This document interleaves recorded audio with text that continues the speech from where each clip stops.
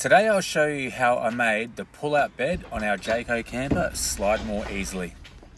As you can see, this one was pretty tough. I even stopped because I thought the canvas was caught and you can even hear the grating noise when I try to slide it out. So let's get started. All I used was a $9 can of WD-40 silicone spray from Bunnings. This one's a dry lube, so when it dries, it doesn't attract dirt.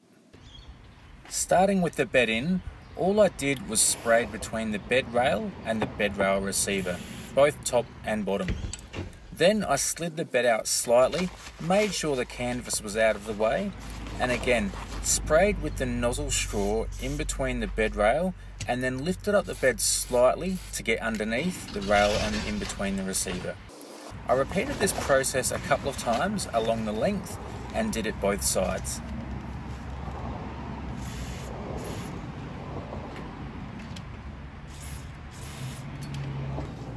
Here you can both see how much easier it is and even hear the difference. That's why I carry a can of this stuff all the time because it's also great for the bed end fly zippers as well as the lifter arms. If you found this video helpful, don't forget to press the like button. Otherwise, subscribe for more Jayco camper trailer hints, tips, mods, and DIY repairs.